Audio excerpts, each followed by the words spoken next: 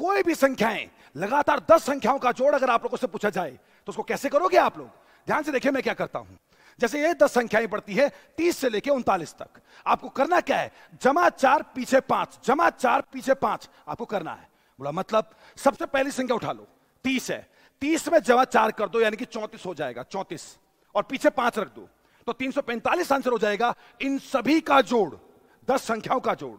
उसी प्रकार से, अगर मैं 125 से लेकर 134 तक बात करना चाहूँ 125 में जमा चार कर दो, पहले वाले में जमा चार, यानी कि एक सौ उनतीस पीछे पाँच, जमा चार पीछे पाँच, जमा चार पीछे पाँच।